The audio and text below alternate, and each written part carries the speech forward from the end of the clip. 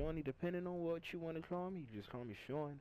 But that's not the point of today's video. As you can tell by the title, today's video is about the Dark Matter camo. If you are not already aware, the Dark Matter camo is this superb looking camo. See what it see what it did there? Superbly Shawnee, superb camo. Alright. I'm so corny, man. Um, oh, that's not the point. The point is that in order to get this camo, you need to get diamond everything. So you need to get diamond primaries, diamond submachine guns, diamond assault rifles, diamond shotguns, diamond light machine guns, diamond snipers, diamond pistols, diamond launchers, and the special.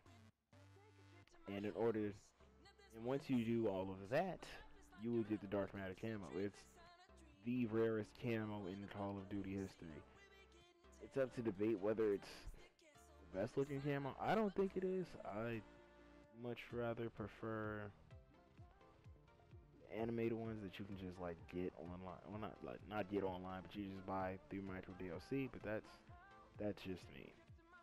So uh, yeah, I'm gonna be racing to do that camo on stream. You guys will not probably see my progression of this on YouTube, but you will see like little gameplays here and there, depending on how well I do with certain guns.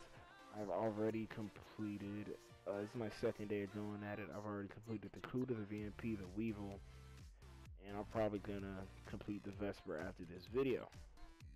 So, uh, if you guys are interested in seeing that, or just playing with me on streams, I play with viewers quite often. If you're interested on doing that with me, follow me on twitch.tv forward slash ShawneeBoy254 and twitch.tv forward slash superbly ShawneeBoy.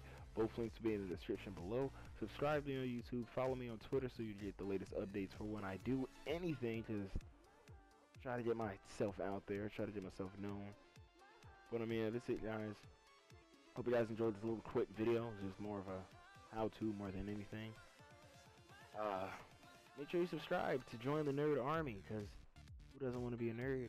They rule the world. They create the games that we're playing today, you know?